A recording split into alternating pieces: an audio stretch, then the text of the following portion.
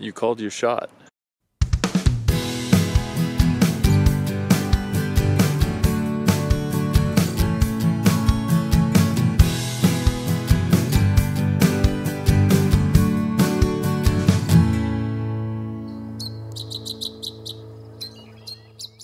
While winter weather can keep many people inside, the birds and other wildlife have no choice but to endure the conditions and go about their daily lives.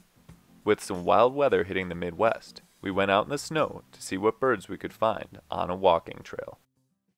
Hey everyone, this is Ryan from Badgerland Birding. Today Derek and I are taking a walk in the wintry conditions that we have. We've been getting some really crazy weather in Wisconsin this year with a lot of snow, some freezing temperatures, and now a little bit of melt with some more snow. So we're gonna see what kind of birds are out here today. Yeah, there's been a lot of cool stuff just kind of around the trail. A lot of geese flying over, cardinals. So I'm gonna try to specifically do some photography today. This is the Olympus OM1 with 300 millimeter lens. So maybe we can get some cool shots. Ryan's on video, I'm on photos. See what we get. Armed with our gear, we started walking the slushy trail. Almost immediately, we spotted a species that isn't typically thought of as a winter bird.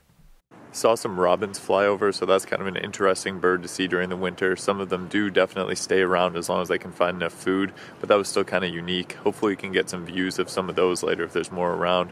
And other than that, I'm thinking we're going to find a lot of the usual suspects, like chickadees and cardinals, but seeing those in this cool weather is still neat. Uh, but maybe we can even find something that's a little bit out of season. We did indeed spot some common winter birds in the region, including northern cardinals, house sparrows, and dark-eyed juncos. While these birds were common, the weather conditions were somewhat uncommon. The situation right now with the weather and the snow is that we got a lot of snow when it was a little warmer out, so the snow was really wet, so it stuck to everything. And since we got so much of it, it made these big clumps on the trees, and then in the days after, it froze. So it looked really cool, but it was really heavy on the trees. So a lot of branches and even entire trees just toppled over.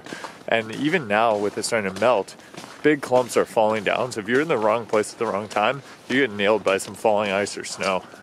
With snow continuing to fall from both the trees and the sky, we made it to a place with a lot of bird activity. Made it to this area on the trail that has a feeder set up, and there's a lot of birds there. It was kind of funny because I think I got like three or four different species visiting in like a 10 second span. So that's pretty cool. And the birds, especially in these wintry conditions, are going to flock to areas where they can still find food, especially when there's a blanket of snow covering their usual sources like seed. So this is kind of a gold mine for birds this time of year.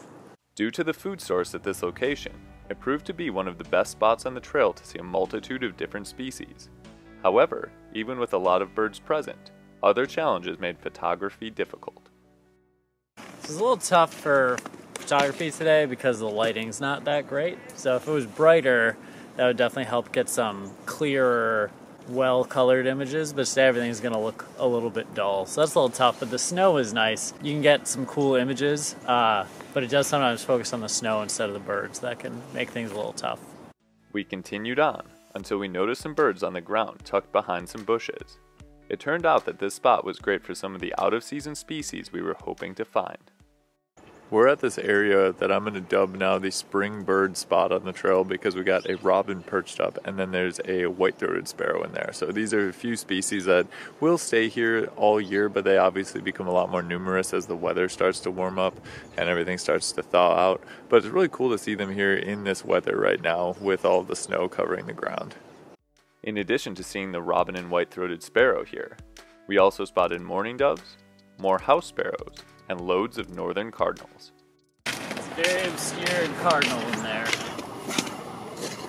He doesn't look like much, but a little red blob. Moving on from our spring birding hotspot, we had encounters with a few more year-round residents of the state. Got a few more birds, got a white-breasted nuthatch, which has been calling. You might even hear it now, actually, in the background. And then downy woodpecker. So, like I said earlier, a lot of the more normal stuff are here, but we have had a few birds that are a little out of season. Additionally, we had a run-in with an impressive amount of a species we had seen earlier. We had a group of robins fly into this tree. So there's probably one, two, three, four, like 15, 20 robins just in this tree. It's interesting to see them in such a big group. Do they know what time of the year it is? No. Do they care? They have no idea what's going on right now. There's also some geese flocks around here. We, I always look for snow Ross's, white fronted, but it's normally just Canada. After checking out the robins, we made it to a creek, marking our turnaround point. Now we're gonna kind of go back the way we came. Maybe get some better views of things we saw earlier. Maybe the white-throated sparrow will be out a little bit more. We'll have to see. As it turns out, Derek was absolutely right, as not only one, but two white-throated sparrows gave us impressive looks. You called your shot. Yeah, we got some nice white-throated sparrows. That was definitely like the the bird of the day. There's two of them perched up, really nice and. They gave really nice views. I mean, did not care that we were here. We're making the little vocalizations, not the traditional white-throated sparrow song, but the little call note.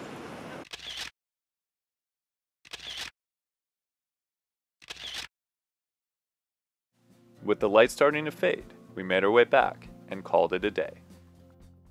Well, it's starting to get dark out and it's getting a little colder and a little windier, so we're gonna call it quits. I would say that was a fun walk, totally worth it to see some of these species in the snow, and just always fun to be out birding. The white-throated sparrows were definitely the thing that like made it all worth it. Like just to get some nice pictures and views and hear those little call notes. Um, you never know what you're gonna see when you just kind of go out like in a neighborhood. So it's always good to go out and see what you can find. While some people despise the winter weather, there's something fun about experiencing the elements and finding birds in the process. There's sure to be more crazy weather on the horizon, but until then, thanks for watching. We'll see you next time on Badgerland Birding.